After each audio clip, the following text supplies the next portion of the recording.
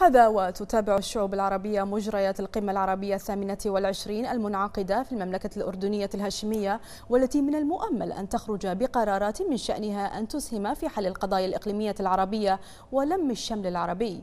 مراسلنا زيد الخليفات رصد لنا بعض آراء الشارع الأردني حول القمة وأعد لنا التقرير التالي. أبدى الشارع الأردني ارتياحه لما سيصدر عن القمة العربية الثامنة والعشرون من قرارات من شأنها أن توجد حلولا ناجعة ضمن إطار الجامعة العربية. تفرز شعاع وبصيص أمل لها الشعوب العربية إن شاء الله وتعم نتيجتها قريبا على الوطن العربي عامة وعلى الأردن خاصة. أتمنى من الاجتماع القمة هاي أنه يكون في تغيير لحال الأمة العربية.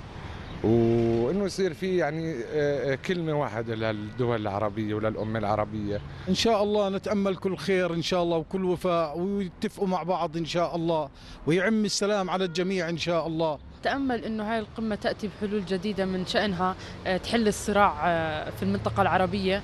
وعلى رأسها القضية السورية طبعا وحفظ كرامة الشعب السوري ودعم صمود الشعب الفلسطيني وكذلك الشعب العراقي.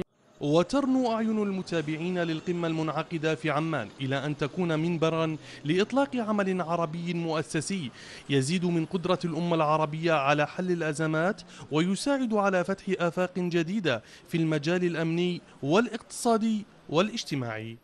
نأمل أن يتم تجاوز كل هذه الخلافات آه، لمصلحة الأمة العربية وأن يتم تفعيل دور مؤسسات العمل العربي المشترك وأن يكون هنالك نظرة إيجابية من قبل القادة العرب لطبيعة التحديات والصعوبات التي تواجه هذه الأمة لتحويلها إلى فرص حقيقية وإلى قصص يمكن أن تكون لمصلحة الأمة. وتأتي القمة في وقت تزداد التحديات التي تمر بها الأمة العربية والتي تستدعي مواجهتها في كافة المجالات.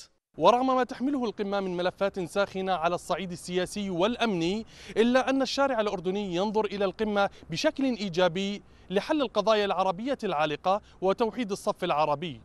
زيد الخليفات تلفزيون البحرين عمان.